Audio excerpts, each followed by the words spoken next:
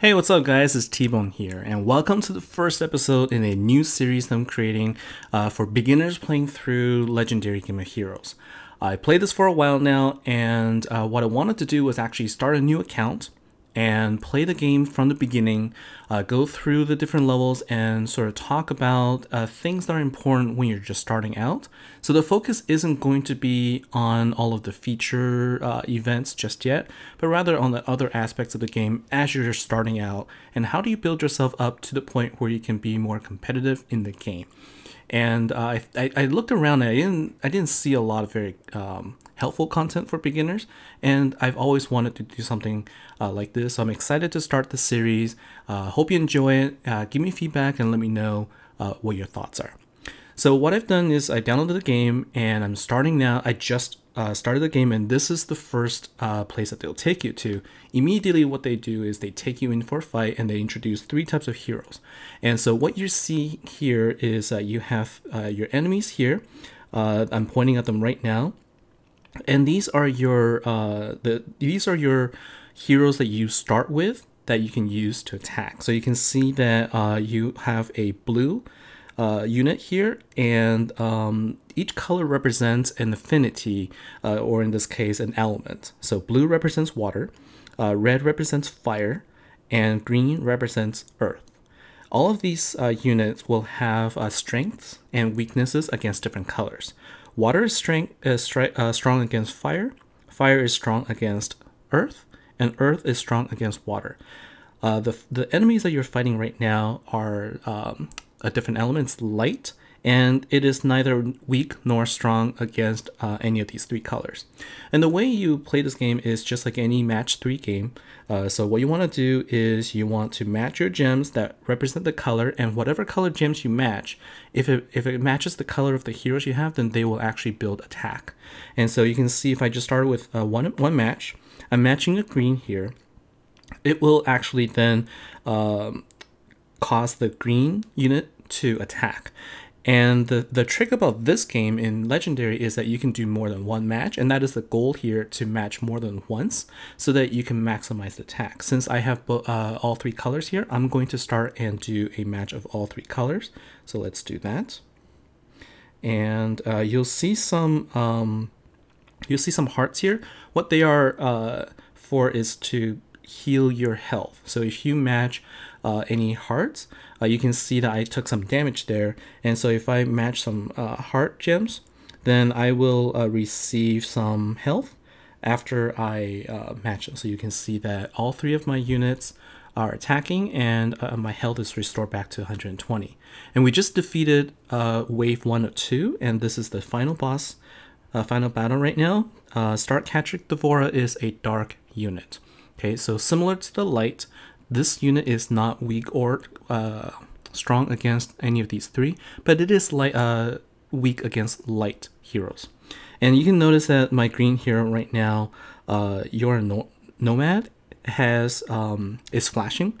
That means that it has accumulated enough um, as you as you as you match gems it fills up a gauge. And when the gauge is full, uh, you'll see this light up. And what it does is it allows you to use a battle skill. And you can, if you press and hold onto the unit, it tells you what it does. So the battle skill Poison Blade attacks all enemies for 200% of attack for two turns. And so it, and you can see here it says charge rate 12 gems. That means it requires 12 gems to be matched before this is going to be um, uh, activated and there's a cooldown of two turns. So after using it, you need to wait at least two turns or more before you can use it again. All right, so let's go ahead and press on it. And the way you activate it is just click on the hero and see what happens. So you can see right now it attacked the, the unit uh, using the uh, battle skill and dealt a little bit of damage. And now we can go ahead and continue to match our other gems like we have done earlier. And then um, and you can see what I'm doing here is I'm matching as many gems as I could, and you notice that on the bottom there's a combo counter. So the, uh, as the gems cascade and they continue to match, uh, the combos will, in, will the combo counter will go up, and that will be a multiplier for all of the damage that you accumulate. So the more combos you can generate, uh, the, the, big, the bigger the, the damage. Right. So that's the basic gameplay, and that's the first thing they do. This is an introduction uh, uh, introduction to the game, and that's a tutorial. Now you'll notice that it, you got gems and gold. These are the two important currencies in the game that I will talk about. And then the next thing that you're going to, to uh, see is uh, choosing a leader here, uh, where you get to pick one of the three legend cards, uh, leg legend cards that are available. Um, honestly, it doesn't matter which one you pick. Um, you have Earth Hero, Dojin, uh, Water Hero Kida, and Fire Hero Ray. So I personally, uh, I really enjoyed Ray uh, because I like fire-based heroes. But really, you can pick whatever it is that um, you think will be, um, you know, something that you like, whatever your preference may be. So let's just go ahead and pick one. I'm gonna go ahead and pick Dojin, just to be a little different. And so I'm going to have an Earth-based hero, and you'll see that this Earth hero uh, eventually can evolve into Dojin Unleashed, and we'll talk about how this works. So let's go ahead and open this now. And this is basically opening a pack that contains a guaranteed legend unit. And when you when you tap it and open it, you'll see that it is a balanced legend card. And then look, you can look at the number of stars on the bottom. There's six total slots for stars, and two of them are highlighted. That means this card currently is a two-star card with the possibility to go up to six stars. Every time you go up a star, uh, the base damage will go up and also the, the level count will go up. So right now at two stars, the maximum level for this unit is 15. But as you go up in stars, then the level count will go up and you can get more damage, more health, more recovery, etc. So now that we have uh, Dojin as our uh, leader card, you can now go ahead and build a deck. So the way you build decks is uh, whatever card you put into the middle here, that's going to be your leader card. And so let's go ahead and tap Dojin as our leader card. And now uh, leader cards have specific bonuses. So if you tap on the card and you tap it again, you can see the back of the card and you scroll down here, it will you'll notice there's something that says leader skill. So the leader skill only gets applied when this card is in the middle of the deck that consists of five, five possible cards, and it provides 120 damage and, and HP or health for all Earth heroes. So this will apply to any other green heroes, including itself, right? And there's a power up button option here. So when you when you power up, this is what you use to uh, increase the level count. And you can take a card and then you can see uh, if you right now it's free you can get you can gain a 300 xp and you'll notice that you can go up to level 3 with this power up. So let's go and do that. And then testing your fate is just uh, a way to gamble how much additional uh, xp you'll get. And so we got a 100% additional bonus. And so with that we are going to jump up to level 4 instead of level 3 okay and so now we, this is how you level a, a, character just by sacrificing a card to um, to level it up. And now we can go into the game game uh, gameplay through here. So now you're entering the main uh, view of the game itself. So this is this is you. You notice on the top left you're rank one, and then the main campaign really is where you want to go. So you'll see here everything else is grayed out. As you uh, level up, it will unlock for you. So you can see Scavenge 1 and Craft Potions unlocks when you're rank 3 and 4. And the way to gain ranks is to play through the game itself, through the main campaign. There are other dungeons available, but uh, it will only be available for you once you're actually higher in, in level. Okay, so let's go ahead and do the main campaign first. So we'll play through one level and then uh, let's see what's next. So let's go in and uh, go through the level here.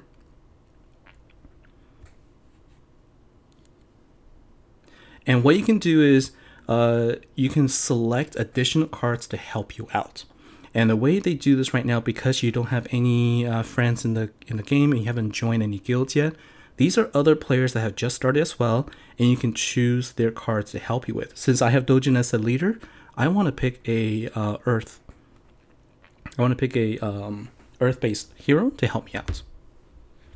Okay, so let's go ahead and battle. It's going, and you can see here lightning uh, sign that is a stamina. The way you can tell how much stamina you have is uh, up on the top right. You can see I'm at currently 200 stamina out of 31. And let's go ahead and battle. And stamina will be used every time you battle, but as you, uh, and it gets replenished in two ways. One, if you rank up, and two, if you uh, just let it go uh, over time it will build up um, every few few minutes.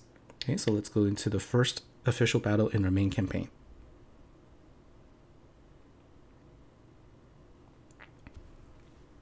So this is uh, the very first main campaign level. And now you can see on the top there's three waves. So we'll apply the same uh, the same thing here. And let's go through and uh, go through go through the three waves. And here they talk about power gems. So this is just like in any any match three.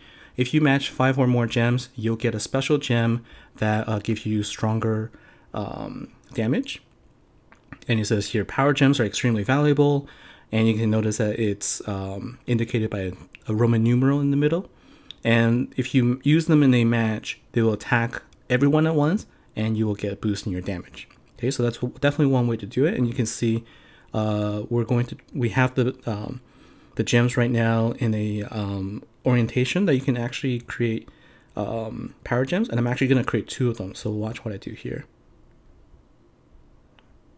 Okay, so you can see here, I just created three different power gems using three different configurations, and you can see that they have different um, numbers, one, two, and three. The other one got matched by uh, as part of the dropdown, but the numbers represent um, strength in the power gems. So the more um, the more gems you you connect in your very first uh, connection, the bigger the number is going to be. So I will show you again. So if you just match these six, you'll get a match one. And then if you get another one, then this is going to be a, a type two uh, or, or a uh, power gem two. So this is going to be more, uh, it's going to be a stronger uh, power gem compared to the one.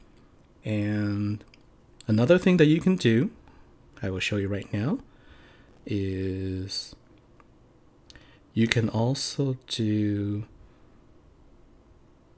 uh, I messed that one up. So, because I didn't want to kill the unit just yet.